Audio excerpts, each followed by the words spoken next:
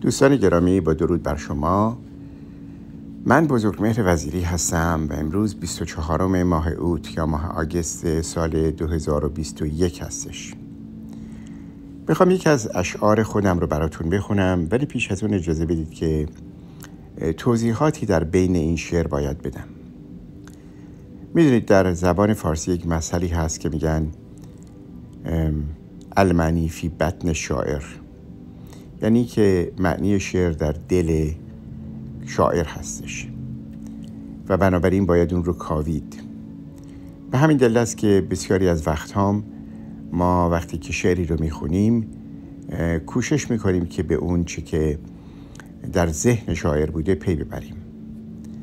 اگرچه من خودم بر این باور هستم که شعر نه نظمه منظورم تفاوتی بگذاریم بین نظم و شعر. شعر اون چیزی که از درون انسان برمیخیزه با یک الهامی هست و نظم اونی که با قصد معینی سروده میشه.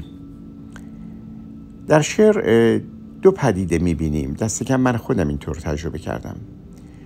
یکی اون بخش آگاه شاعر هست که اون رو به کار می‌گیره و بخش دیگری در واقع خود شعر هست که تولد پیدا می‌کنه.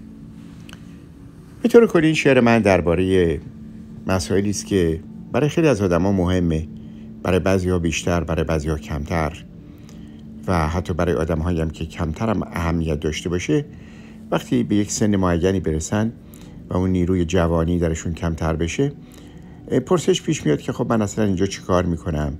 برای چی اومدم؟ برای چی نیومدم؟ خدایی هست خدایی نیست. سرنوشتی هست سرنوشتی نیست. خیلی وقت هم خودمون رو سرزنش می‌کنیم به خاطر کارهایی که کردیم و کارهایی که نکردیم تصمیم های درستی که نگرفتیم. در هر صورت این نه یک کلاس درس هست نه یک چیزی هست که راهی رو به شما نشون بده بلکه یک تجربه هست. در میان گذاشتن یک تجربه هست. و خب از شاعران بزرگ ایرانی که به این موضوعات پرداختند از خیام گرفته تا مولوی تا حافظ تا فردوسی بزرگ همه در هر حال به اون اشاره کردند. و من حالا این بخشی از این شعر رو می‌خونم به جز یکی دو مصرع این شعر که در واقع از مولانا وام گرفته شده بقیه شعر از خود من هست.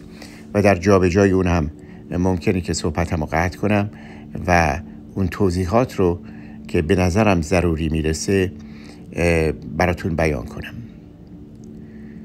گفت مولانا که من سرگشتم در ره دلدار خود گم گشتم. گفت مولانا مرا ببریدند در نفیرم مرد و زن نالیدند. از وطن گفت و از درد وطن این وطن جان است و در زندان تن. من نپندارم که این تن من نپندارم که تن زندان ماست. این تن من معبد مهر خداست. کیست زنده آنکه جان را دیده است؟ بوی گلزار وطن بشنیده است. ناپدید است این وطن از خاک و گل. خشم ما پوشانده خود این چشم دل. خشم بگذار و محبت پیشه کن. چون درخت مهر در جان ریشه کن. چشم دل بکشا که جان هم پیش توست. چهره دلدار پنهان پیش توست. گوش بکشا تا نواها بشنوی. بیهوده در خواب قفلت نقنوی چشم بکشا که بینی جان پاک. همچو گنجی مانده پنهان در مغاک. بعد چندم مسکن جان من است. من نپندارم که این زندان تن است. این تن من معبد مهر خداست جان من در معبد بی منتهاست ببخشید. این تن من معبد مهر خداست جان من در معبد بی منتهاست کائناتی در وجود من نهان آسمان ها و زمین و کهکشان. چون شناسم راه جان خیشتن بال برگیرم به سوی آن وطن. پیش روی تو جهانی دیگر است کاقبت ما را بدان شهر رهبر است. کیست شه در وجود تو نهان هم ستاره هم زمین هم آسمان؟ روح در جان بیقراری می کند. در پی دلدار زاری می کند. باز کن دروازه پندار را.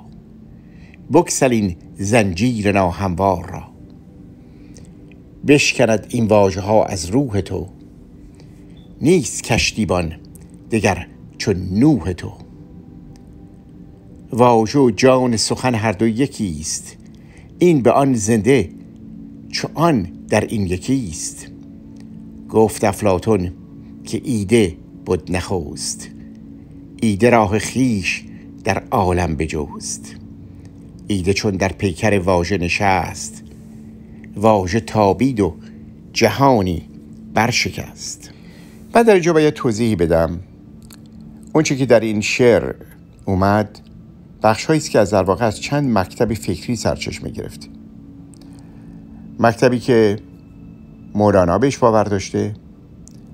مکتبی که خدا باوران بدون مذهب به اون باور دارن.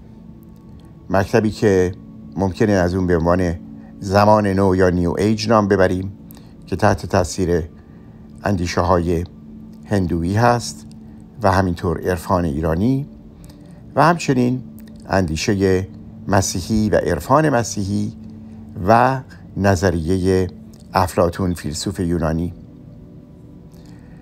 می‌دونید که دو اندیشه در جهان دو مکتب فکری وجود داره. یکی به نام ایدئالیسم و دیگری به نام متریالیسم ایدئالیست ها که در واقع بنیانگذار اون افلاتون بوده بر این باور بود که در آغاز ایده بود. ایده تقریبا می‌تونیم اون رو فکر یا اندیشه ترجمه بکنیم. و میگه این ایده و فکر بود که وجود داشت و در نتیجه اون از اون جهان مادی شکل گرفت. بسیاری معتقدن اون که در آغاز انجیل یوحنا آمده و گفته که در آغاز کلمه بود و کلمه نزد خدا بود و کلمه خود خدا بود از افلاتون وام گرفته شده یعنی کلمه جسم یک فکر است واژه قالب یک تفکر و اندیشه هست. ما وقتی که اندیشه ای رو می‌خوام بیان بکنیم از واژه ها استفاده می‌کنیم. البته انسان از موسیقی یا از نقاشی هم برای بیان اندیشه ها استفاده می‌کنه. ولی معمولترین و رایجترین اون واژه ها هست. و طبیعتا زبان هر قدر هم که گسترش داشته باشه نمی‌تونه در بسیاری از موارد اون روح اندیشه و جان اندیشه رو در واقع در خودش جای بده. از سوی دیگه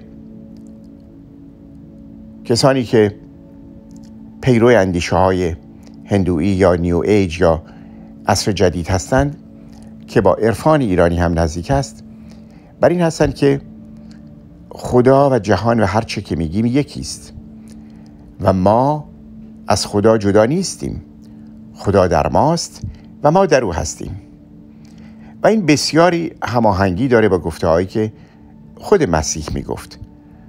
اشاره می‌کنم دین مسیحیت رو اشاره نمی کنم. خود مسیح می‌گفت که من در شما و شما در من هستید. و می‌بینیم که این روزها کسانی که دنبال مدیتیشن هستن و اون راه ها رو دنبال می‌کنند که بسیاریش هم خوب هست گفته میشه که این خود یا ego با خویش یا خویشتن یا اون self متفاوت هست. اون خویشتن ما به اون چیزی که حالا به هر نامی می‌خواید بخونید. هوشیاری جهانی بگید خدا بگید. ارتباط داره از طرف دیگه می‌دونیم که علم نشون داده که جهان ما به این سه بعد کنونی که ما درش زندگی می‌کنیم و حالا اگر زمان رو هم بعضی ها بود بدونن بگیم چهار بود به اینها در واقع محدود نمیشه و از نظر ریاضی ابعاد بسیاری رو نشون دادند. ولی تصور این ابعاد برای ما بسیار دشوار است. برای همینی که بعضی حتی گمان زنی می‌کنند که موجودات دیگری زندگانی های دیگری که در ابعاد دیگری هستند با ما در ارتباط هستند و با ما در واقع به نوعی سعی می‌کنند پیام هایی رو به ما برسونن و یا اینکه ما رو کنترل بکنن.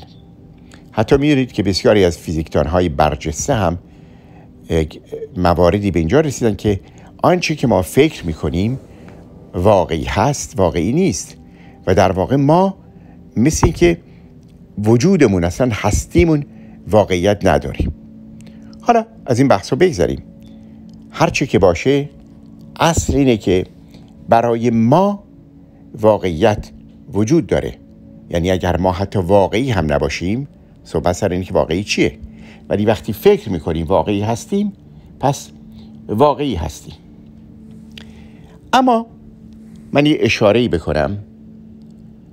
و این اشاره در اینه که یکی از پیامبران مهم بنی اسرائیل به نام اشعیا یا اشیا هست و او کتابی داره. و در اون کتاب همون کتابی است که از کورش بزرگ در اون بسیار ستایش شده در فصل 45 اون. در جایی گفته چشم دارند و نمی بینند گوش دارند و نمی شنوند ذهن دارند و در نمی یابند و من این رو به این صورت گفتم. و چه نیکو گفتن مرد خرد که از کلامش کودک جان برخورد. چشم دارند و نمی بینند باز ذهن دارند و نمی یابند راز. گوش دارند و صدا را نشنوند آنچه می بایست آن را نشنوند. بر حال صحبت اینه که ما نمی‌تونیم به واقعیت ها پی ببریم به تنهایی. از راه استدلال. به گفته مولانا میگه پای استدلالیان چوبین بود. پای چوبین سخت بی تمکین بود. از طرف دیگه نمی‌تونیم به تنهایی به الهامات خودمون و یا احساسهایی که می‌کنیم تکیه می‌کنیم.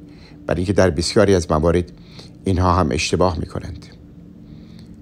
آنچه که مهم هست اینه که ما جوگنده باشیم و بپذیریم که دیگران هم در راه جوگندگی خیش تا زمانی که به خشونت و تا زمانی که به آزار و اذیت دیگران نپردازند آزاد هستند. بر حال این سخن خودم رو پایان میدم که کیست زنده؟ آنکه جان را دیده است. بوی گلزار وطن بشنیده است. وطن ما کجاست؟ وطن ما اینجاست؟ وطن ما در دل ماست؟ وطن ما سرزمین ماست؟ وطن ما اندیشه های ماست؟ وطن ما خدای ماست؟ وطن ما کره زمینه؟ وطن ما کائناته وطن کجاست؟ مهم اینه که جوینده راه باشیم در هر جای دنیا که هستید شما رو به خداوند می سپارم. بر خدایی که به اون باور دارید. شما رو به او می سپارم و براتون آرزوی شادکامی می کنم. روز و روزگار بر شما خوش. من دکتر بزرگ مهر وزیری هستم. خدا نگهدار.